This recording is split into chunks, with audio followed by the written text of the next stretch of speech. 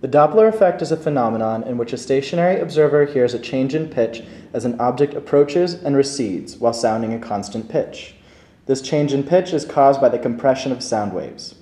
The change in pitch is dependent on the speed of the approaching object and will become more extreme as the speed of the object increases. Let's see what happens when we try this out. To demonstrate the Doppler effect, we'll be using a source of sound that can easily maintain the same pitch. Take, for example, this air horn. As compressed, air passes through the opening. The air horn maintains a steady pitch.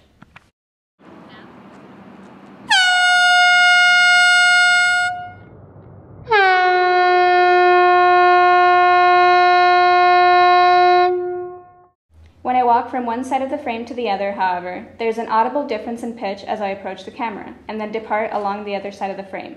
This is called the Doppler effect.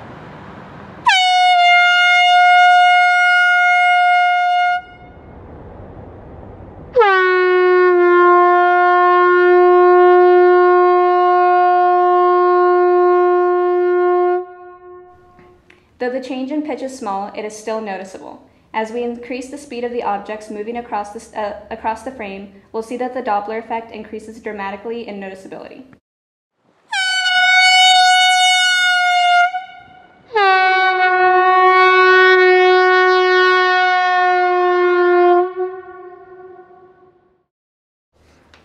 So now we've seen what the Doppler effect looks like at a slow and moderate pace. Let's try it one more time, quite a bit faster this time. We'll approach 40 miles per hour in this example, which will demonstrate an even more substantial change in pitch.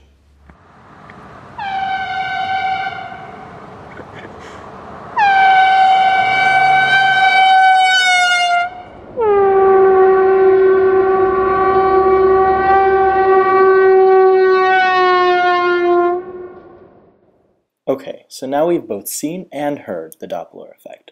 But what's really going on here? Sarah and Alejandro will explain.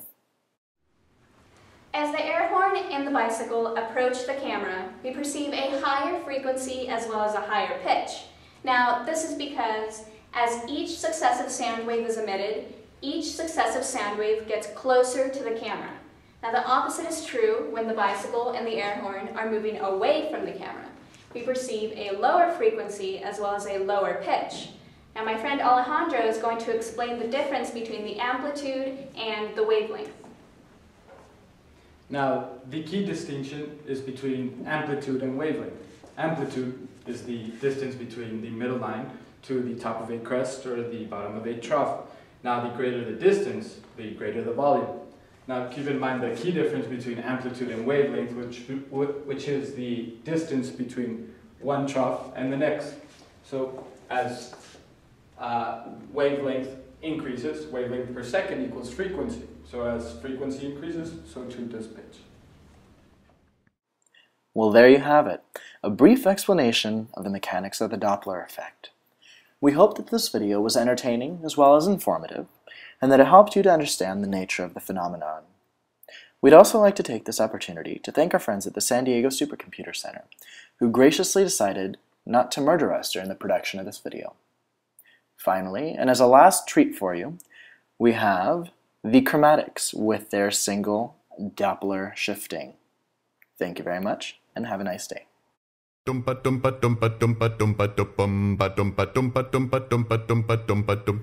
Susan cruising down the freeway doing 78. She just likes to drive fast, it's not that she's late. Goes over a hilltop and what a surprise Blue and flashing lights right in front of her eyes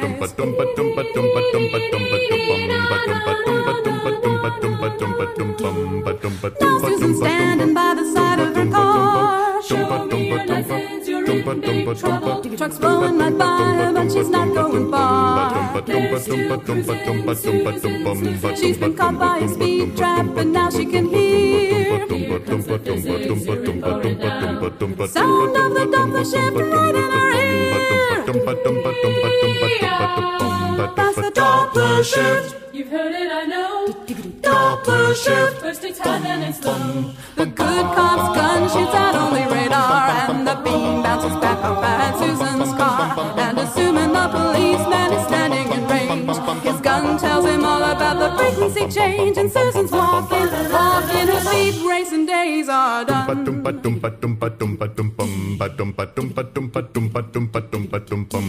They're years away, man, and that's pretty far. But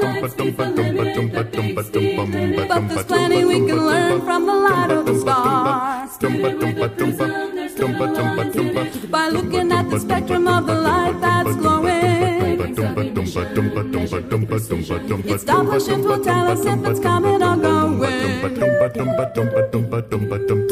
That's the Doppler shift. You see it, it's true. Doppler shift. To the red or the blue. When a star is approaching and it's coming our way, its spectrum seems bluer, won't you hear what I say? And when it starts retreating way out of range, and the scientist measures its frequency change, well that's a red shift, red shift if the star is moving away. By reading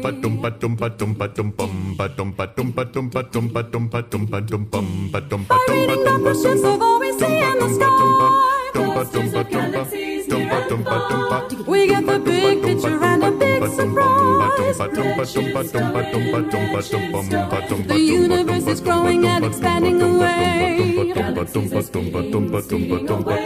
But maybe gravity will shrink it back someday. Doppler shift. To the red or the blue. Doppler shift. And our shifts two. Now blue shifts come and red shifts go, and that's pretty much everything